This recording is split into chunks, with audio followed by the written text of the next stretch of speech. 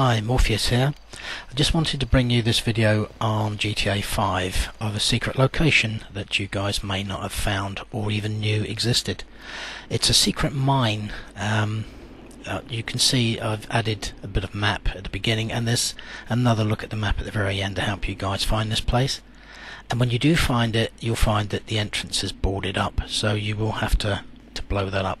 But be careful if you use your grenade launcher as it's just as liable to bounce back and blow you up instead of the entrance. So just be aware of that and be careful.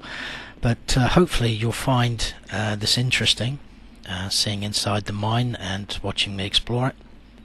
And hopefully, um, if you enjoy what you're seeing here, you'll go and find it on the map yourselves and uh, have fun exploring. So with that, I'll um, be quiet now and uh, leave you to watch the video. I hope you enjoy and uh, and I hope you do uh, go and find this because it is fun to explore.